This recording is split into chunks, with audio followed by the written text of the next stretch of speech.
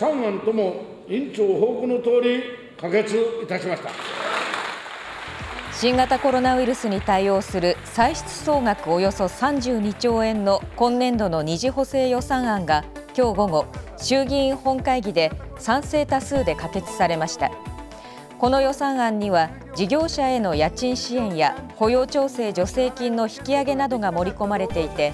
明日から参議院に舞台を移し審議され12日にも成立する見通しです。